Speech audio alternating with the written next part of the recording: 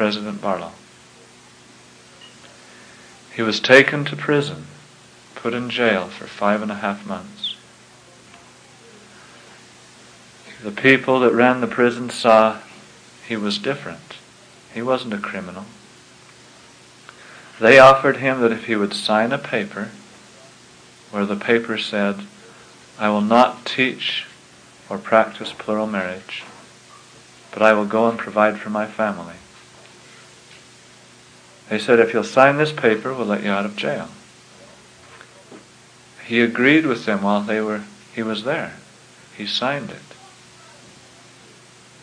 They let him out of jail.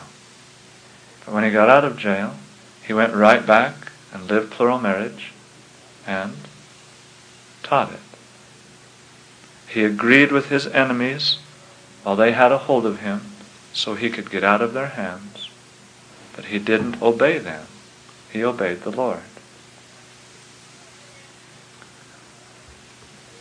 That's what that scripture means. You get out of their hands so that you can go on and obey Heavenly Father. Many people apostatized because President Barlow signed that paper.